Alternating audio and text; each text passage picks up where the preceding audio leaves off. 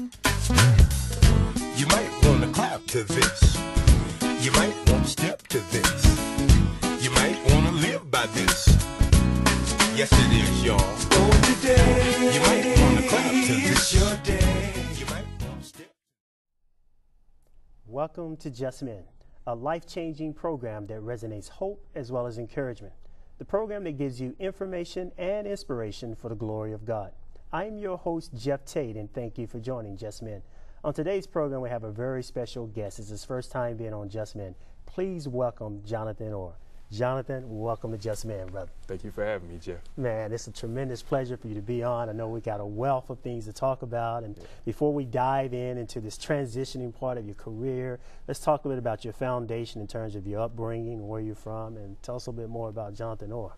Sure. Um, grew up in Detroit, Michigan. Uh, family of five, my mom, my dad, and two brothers. And I was in the middle. I'm the middle son. And so um, grew up. My grandfather was a pastor. My dad is a minister, and so uh, we grew up. They parents pretty much dragged us to church uh, every week, week in and week out, and so um, and so just growing up, I, I, had an idea who God was. Um, father and mother did a great example of um, of of just exemplifying, um, you know, what God looks like in a in in day to day life, yeah. and so thank God for that. But um, it wasn't until college and, and, until I really began to know Him for myself and uh, and decided to finally turn my life over to Him and accept Him uh, not only as Savior but as Lord.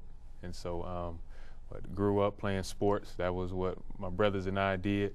Um, pretty successful at it at an early age, and uh, ended up getting a scholarship uh, to the University of Wisconsin, um, where I uh, played there for for uh, four years and um, after that, uh, went on to play in the NFL for a little bit, and so uh, that's it in a nutshell. Uh, I guess a little bit about my foundation. So yeah, wow, that's good. And I know that uh, as a PK, you know, we've had several uh-huh. men on our program, and they talk about. Uh, both the the success of being a PK, also some of the challenges, mm-hmm. Uh, especially when you seem like there was an added pressure on the, the kids of a pastor uh, mm-hmm. to do well and to conform to the things of God. Can you do you remember anything that was very transitional for you in that period growing up that uh, kind of helped you along the way? Um, that's one thing I can say about my, my, my parents. They never uh, really um, put us in a position where, where, where, we felt like it was that added pressure. And so, um, so a, a, lot of the pressure that I hear a lot of PKs talk about, um, I, I really can identify with that as far as the pressure to, to you know, be perfect or to always put the best foot forward. Um, we never really felt too much of that uh, growing up, and so uh, we were always kind of uh, free and, and, and had freedom to kind of you know be ourselves. And um, parents knew we were going to make mistakes, and we made a bunch of them, and so uh, so we just had that that um, opportunity to grow in that way, and so. Yeah, I think yeah. it's awesome that you talk about that period of not only knowing Him as as as your Savior, but also as Lord. And what mm-hmm. does that mean? I know I hear that sometimes with people uh, in terms of of understanding God in a more deeper way. What does that mean to you to know Him as Lord? Uh, personally, uh, for me to know Him as Lord means that um, I I've given Him my life. He has ownership of my life. Like I'm not only saying, you know I believe you died for my sins, which I, I, do believe that, and, and that because I accept you as as my Savior, now you know I have uh, eternal assurance. I'm saying that, but it's taking it a step further. Like I trust you with my life, God, here and now. I, um, you know your direction, your purpose, um, the things you have for me um, on this earth. Afterwards, I, I, trust you with all of it, and so um, just really giving Him um, ownership and access to to my whole life. So uh, that that's what it means to me as far as accepting Him as Lord. Wow, that's beautiful. And I know you're not going to talk about how you had to walk that walk, uh, especially in, in, terms of giving it all to Him when it came to your profession, when yeah. you begin to transform and, and change your direction for to mm-hmm. line up with purpose. I know purpose is a big part of, of your spirit and your yeah. heart, but before we move into that professional part of your life, talk a little bit about your family now, your current family, and what it is to be a, a father uh-huh. and a husband from that aspect man, I, I have a wonderful um, family, man. It, it, my wife, she's incredible. Uh, we met in college. Um, uh, Haiti, what's up? I know you out there somewhere. I don't know what camera to look at, but what's going on? But uh, that's that's that's my sweetheart, man. She's an incredible woman of God. I know you hear that that term a lot, uh, you know, woman and man of God. But I mean, she she she walks it out, man. She she's a prayer warrior and, and just um, wants what God has for her and, and, for our family. And so, and she she just she just in love with Jesus. I guess that's the best thing I can mm. say about her. And and uh, I have two wonderful daughters. Um, my oldest is Carson. She's two years old and our, our, youngest is Catherine, and she's nine months. And so wow. uh, we just starting out. We got a long way to go, but mm. um, but uh, again, I just I, I, thank God for my family, man. Um, just a blessing, you know. And I'm sure you can experience this. Uh, you've experienced this, Jeff. But just having a family, um, being in that position as a husband and, and, as a father, you get to experience God, and you and you get to. Uh, it just gives you a new outlook on God and His relationship to uh, with us and, and just how he views us and and just a whole different dynamic that you um, probably didn't get to experience, you know, before you were put in that position. So. Yeah. Wow. Yeah. yeah I know my wife has, uh, is same as you, has been a tremendous blessing in my life in uh-huh. terms of keeping me rooted and grounded yeah. in God. And, and, and you said something that's very powerful, and I'd like for you to speak on it very briefly. Yeah. Is that you recognize your wife as a prayer warrior? How significant is that to have?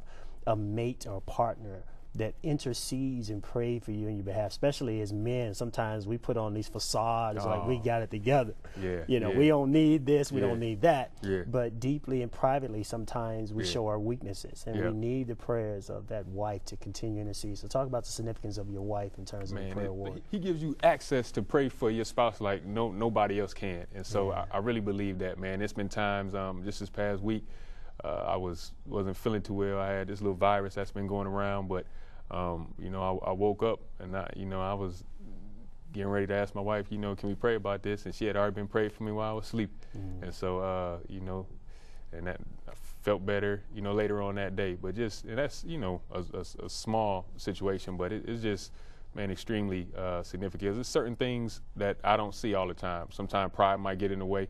Um, it's been situations where um, my wife was she, she just God gave her discernment in situations that I couldn't see because you know I'm I'm looking at it through pride lens, but you know my wife was able to to um, to you know pray us out of certain situations or at least you know look past my pride and say, Jonathan, this is what God is saying concerning this. And so, um, but to answer your question, it's it's, it's extremely significant to wow. to have that uh, spouse uh, pray for you like that. Man, that's yep. beautiful. I know the word talks about one can put a thousand in a flight, and two yeah. can put ten thousand in terms of angels and those protection. And mm-hmm. and you're exactly right. I mean, I know my wife is constantly praying for me, especially when you're around temptation and don't even realize it. Mm. And how yeah. she's constantly, she says, it's not that my trust is so much in you, but my trust is in the God is in you. And she's mm-hmm. constantly mm-hmm. having that spirit to be lifted up because she's not with me 24 7. Right, right, you know, right. And right. what we're encountering. So uh, that's powerful.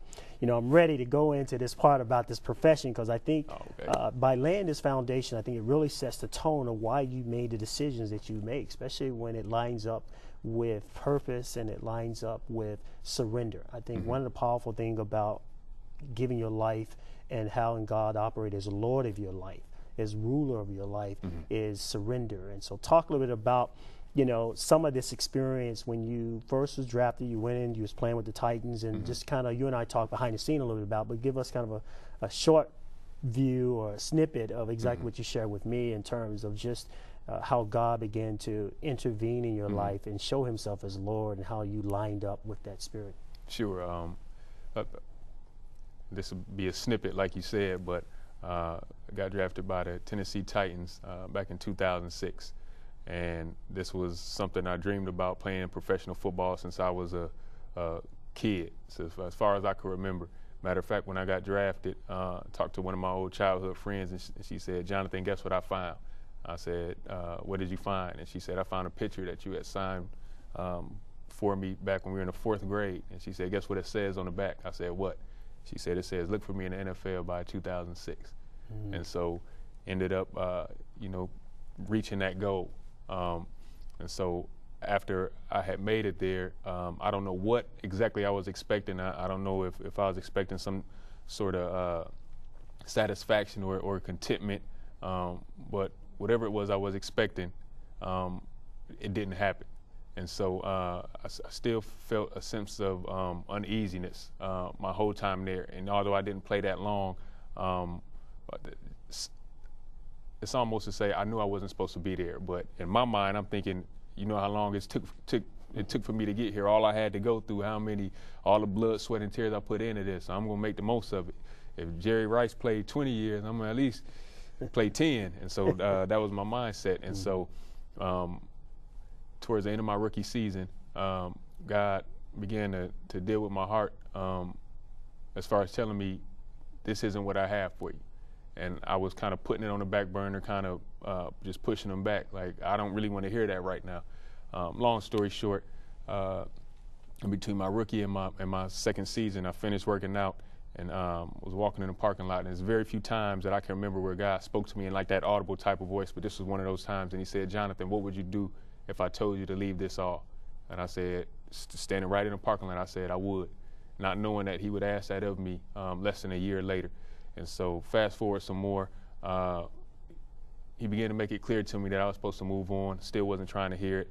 I went out to Oakland um, with the Oakland Raiders after I was with the Titans.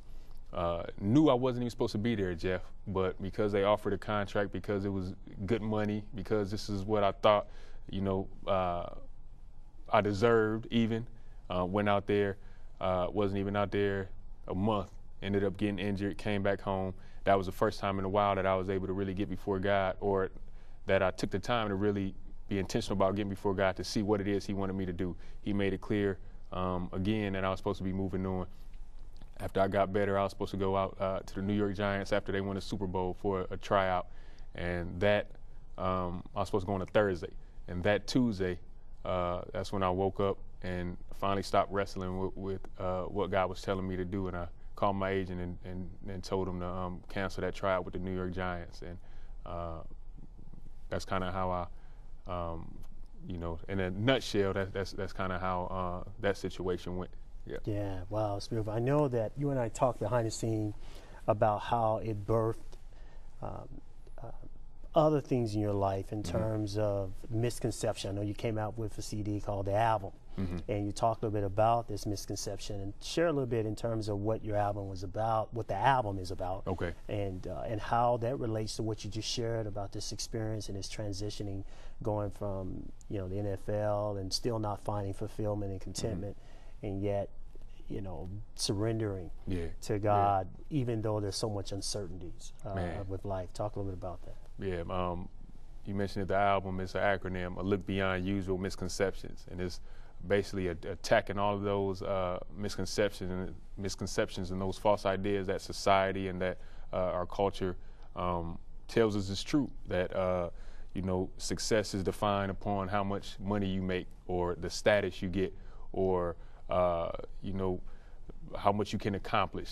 Um, all of those lies, as as, as far as uh, you know, life is about just consuming all you can get. Uh, you know, get as many degrees as you can get, and then uh, make a lot of money so you can buy whatever you want, or uh, whatever feels good to you. All of those misconceptions, um, the CD kind of uh, combated that with, well, what does God have to say about it? Mm-hmm. And so, man, I'm convinced, Jeff, that um, every single person, every single human being walking this earth that's ever walked this earth, that's walking this earth right now, is born with two things. And one, they're born with a void that can only be filled by God through a relationship uh, with Jesus Christ. And then that's one thing. And the second thing, we're all born born with a purpose, and and that can only be fulfilled through God. And so.